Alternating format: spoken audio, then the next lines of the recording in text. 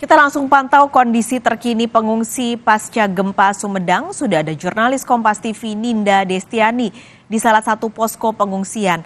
Ninda, yang jadi uh, keluhan pengungsi salah satunya adalah kurangnya toilet umum. Apakah hari ini sudah mulai disediakan pengadaan toilet?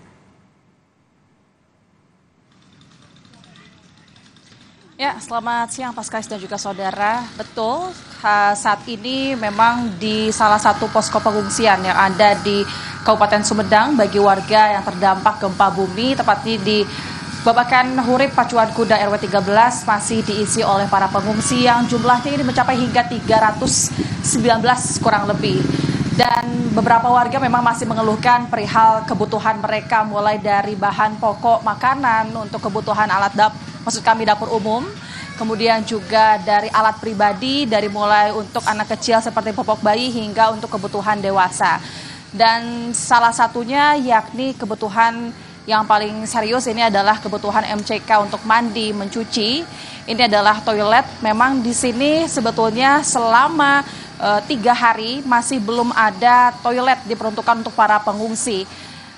Dan ini juga sempat dikeluhkan para warga yang terdampak dan terpaksa ketika mereka ingin uh, mandi, kemudian mencuci dan lain sebagainya, mereka harus kembali ke rumahnya masing-masing atau harus ikut ke toilet yang ada di rumah warga sekitar begitu karena saat ini posisi lokasi tempat kami melaporkan ini posko di sini berdekatan dengan pemukiman perumahan warga begitu Paskalis dan juga saudara dan e, dampaknya dari itu saat ini sebetulnya sudah dilakukan bantuan dari Kementerian PUPR.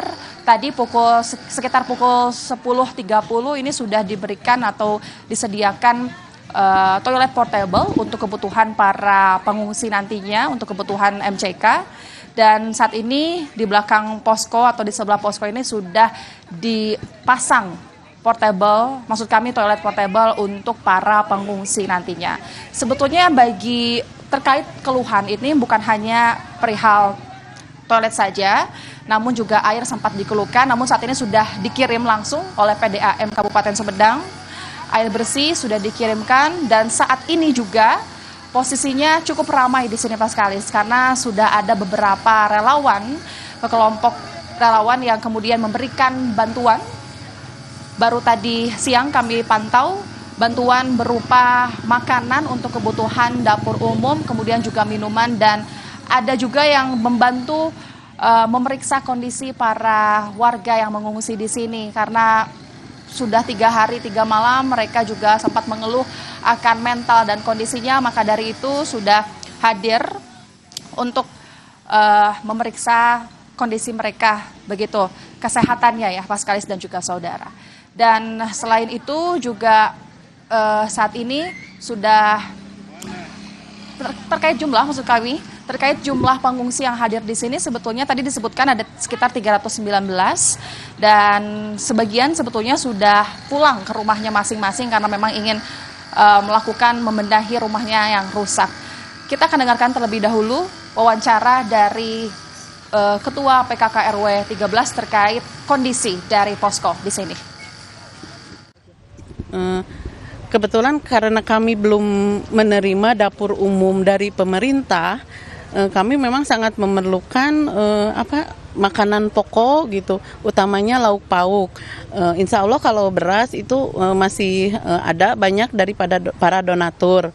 Dan selama dua hari ini dua hari sama sekarang dari kemarin kami hanya mengolahkan di dapur umum itu dapur umum swadaya bukan dari uh, pemerintah langsung gitu uh, dari dan sumbernya itu makanannya itu dari para donatur atau relawan yang masuk ke sini gitu. Untuk mereka yang membutuhkan toilet mungkin Bu di sini ada apa enggak? Oh, untuk toilet umum sampai hari ini belum ada. Uh, Padahal awalnya itu dijanjikan bahwa di, karena kami itu memang keberatan untuk toilet bagaimana awalnya dijanjikan dari awal gitu ya dari pas pertama kami di sini, tapi sampai hari ini belum ada untuk toilet umum gitu. Ke mana kamu ke toilet?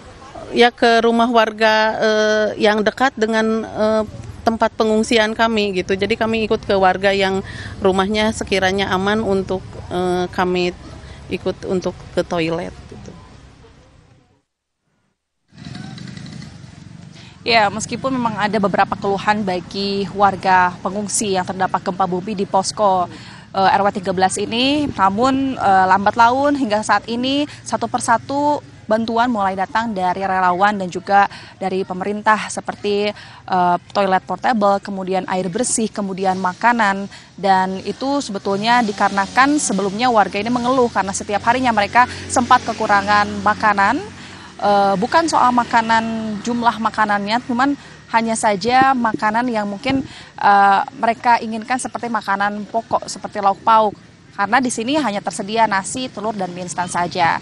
Dan selain itu juga uh, mereka juga sempat mengeluhkan vitamin dan obat-obatan, namun saat ini sudah ada relawan yang kemudian juga memberikan bantuan bagi para pengungsi yang ada di posko Babakan Hurip uh, Pacuan Kuda RW 13 dan sebetulnya ini merupakan salah satu posko yang ada di Kabupaten Sumedang ini merupakan salah satu posko yang paling banyak uh, pengisinya begitu pengungsinya. Dan sebetulnya ada beberapa lokasi pengungsian lagi. Ini diberikan diratakan di setiap wilayah.